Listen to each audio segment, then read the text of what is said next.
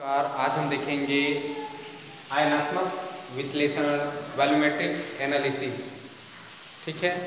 तो आयनात्मक विश्लेषण क्या है, ये जानना, जानते हैं। तो आयनात्मक विश्लेषण किसी मिश्रण में उपस्थित अवयवों की सही मात्रा के रासायनिक विश्लेषण की वह विधि है, जिसमें दिए गए पदार्थ के विलयन के निश्चित आयतन में विलय पदार्थ का भार किसी दूसरे ज्ञात विलयन, यानी प्रमाणिक विलयन के साथ अनुमापन द्वारा ज्ञात कर लेते हैं। ये आयनात्मक विश्लेषण है, अर्थात किसी मिश्रण है, कोई भी मिश्रण है, उसमें उपस्थित अवयव है, उसकी सही मात्रा की रासायनिक विश्लेषण की विधि है, जिसमें उस दिए हुए जो पदार्थ है, उस विलयन की निश्चित आयतन में जो विलय पदार्थ है, जो उसमें विलय होता है, उसकी भार और किसी दूसरे ज्ञात विलयन, जो विलियन है, उसकी प्रमाणिक विलयन के साथ अनुमापन द्वारा ज्ञात करना है, उसको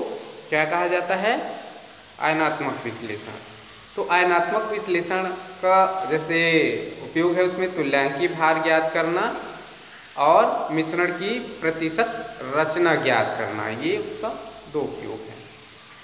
फिर इसमें देखते हैं विलियन क्या है? तो विलियन, दो या दो से अधिक पदार्थों के जो समांग मिश्रण है, वो विलियन कहलाता है है ना? और फिर उसमें देखते हैं, विलियन की जो नॉर्मलता है, मान लो अब नॉर्मलता ही समझते हैं, नॉर्मलता विलियन की। तो किसी विलियन के एक लीटर में घुले हुए विलय के ग्राम तुल्यांकी भारों की संख्या उसकी नॉर्मलता कहलाती है। उसमें ग्राम तुल्यांक की जो भार है, उसकी संख्या है वो नॉर्मलता कहलाती है। फिर मानक विलियन क्या है ये जानते हैं। आ, मानक विलियन मानक विलयन वह विलयन है जिसके निश्चित आयतन में विलय पदार्थ की मात्रा ज्ञात है। वो मानक विलयन है ठीक है? फिर इसमें देखते हैं नॉर्मल विलियन उप नॉर्मल नॉर्मल विलियन अर्ध नॉर्मल विलियन। तो वह विलयन जिसके एक लीटर में पदार्थ का एक ग्राम तुल्यांक तुल्यांकी भार घुला हो, नॉर्मल विलयन कहलाता है। और आयतनीय विश्लेषण में प्राय ऐसे विलयन प्रयुक्त होते हैं जिसके एक लीटर में ग्राम तुल्यांकी भार की आंशिक मात्रा घुली हुई होती है। ऐसे विलयनों को उप नॉर्मल विलयन कहा जाता है। और यदि किसी विलियन के एक लीटर में पदार्थ के ग्राम तुल्यांकी भार का आधा खुला हुआ होता है तो उसे अर्ध नॉर्मल विलियन कहा जाता है। ठीक है? फिर विलियन की जो सांद्रता है तो किसी विलियन के ज्ञात आयतन में विलय की जितनी मात्रा उपस्थित होती है, वह विलियन की सांद्रता कहलाती है, अर्थात किसी विलियन की ज्ञात आयतन है, हमको उस विलियन की आयतन ज्ञात है। तो उसमें जितनी क्या है, विलय की जितनी मात्रा उपस्थित होती है, यानी जो पदार्थ विलय उसकी मात्रा उपस्थित होती है, उस विलयन की सांद्रता कहलाती है। यानी सांद्रता ज्ञात करने की जो विधि है, उसमें भारात्मक विश्लेषण और आयत आयतन मिति विश्लेषण है। जैसे विलयन की सांद्रता ज्ञात करना है तो विलय की मात्रा बटे विलायक की मात्रा, ये भी ज्ञात करना है। तो इसमें एक भारात्मक विश्लेषण और एक आयतन मिति विश्लेषण होता है। फिर इसमें ध्यान देते हैं कि इसमें एक आया है अनुमापन।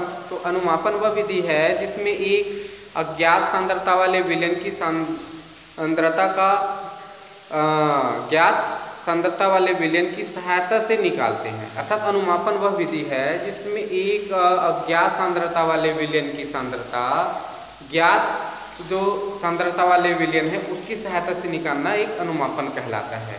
तो अनुमापन के कुछ प्रकार है, जैसे अम्ल मिट्टी तथा क्षार मिट्टी अनुमापन ऑक्सीकरण अपचयन अनुमापन, अवक्षेपण अनुमापन आदि है। ठीक है? तो इस प्रकार से अनुमापन का हम ज्ञात कर लेते हैं।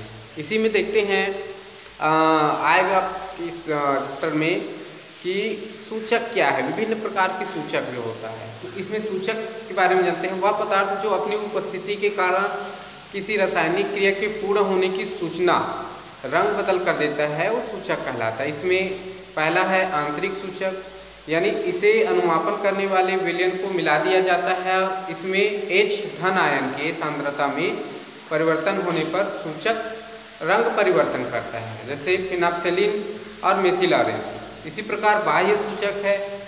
इसे अनुमापन में प्रयुक्त विलियन से नहीं मिलाया जाता। अनुमापन क्रिया के समय विलियन से एक बुन निकालकर सूचक में मिला देते हैं, जो रंग परिवर्तन करके क्रिया के पूर्ण होने की सूचना देती है। ठीक? और दूसरा, तीसरा है स्वतः सूचक। अनुमापन में प्रयुक्त एक विलियन रंगीन होता है, जो स्वतः सूचना का कार्य करता है। तो इस प्रकार से सूचक दिन टाइप हुआ, आंतरिक सूचक, बाह्य सूचक और स्वतः सूचक। ठीक। इसमें देखते हैं मुलरता। मुलरता के बारे में तो एक लीटर विलियन में उपस्थित किसी विलय के ग्राम अणुओं यानी मोलों की संख्या उस विलियन की मुलरता कहलाती है। जैसे उदाहरण में देखते हैं, एक मुलरता यानी सोडियम हाइड्रोक्साइड का अर्थ है सोडियम हाइड्रोक्साइड के एक लीटर विलियन में उसका एक ग्राम अणु 40 ग्राम विलेय है। ठीक है। इसलिए विलेय की मूलता m बराबर क्या होगा? विलेय के ग्राम अणु की संख्या m बटे विलियन का आयतन लीटर में v होगा। अर्थात m बराबर n बटे v होता है। ये मूलता है। ठीक। फिर हम नेक्स्ट क्लास में देखेंगे विलेनों की प्रकृति के आधार पर अनुमापन के प्रकार।